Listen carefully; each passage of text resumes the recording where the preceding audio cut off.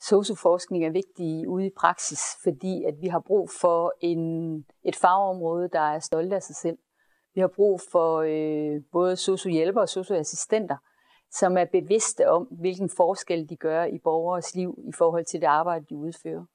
Så vi har brug for, at de på den måde egentlig får indblik i, hvordan deres faglighed og deres praksis, det de arbejder med, det de arbejder hen imod, at det egentlig, hvilken forskel det gør. SOSO er jo en nyere uddannelse, og faget er også nyere, og men det måske nok er egentlig 30 år gammel, ikke uddannelsen. Men det, at man som SOSO også kan bidrage ind i forskningen med det særlige og specielle, som, som socio-personale øh, kan og socio-uddannelsen kan.